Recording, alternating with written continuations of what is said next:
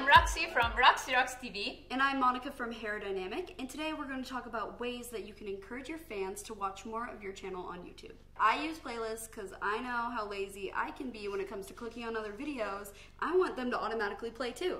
So the way that I do playlists are there's certain types of beauty videos, you know, routines, hauls. I just separate them up, and then I also have a playlist of all of my latest videos. So when my new video comes out, I can say, hey, go watch my other videos and they can see my latest video too.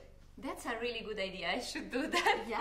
I just organized my playlist based on the main topics on my channel. So I have a cosplay playlist, a beauty playlist, a DIY playlist. I like to be a little mysterious, so you don't just say, hey, go watch my last video. Say, I bought some really cool stuff in my last video. You should go check it out. So, what tips do you have for getting your audience to actually click on that playlist and watch more of your videos? I always remind my viewers at the beginning and at the end of the video that that video they're watching is part of a playlist or a series of videos. And I also add some images or clips they can click on and I use both annotations and cards. Thanks so much for watching.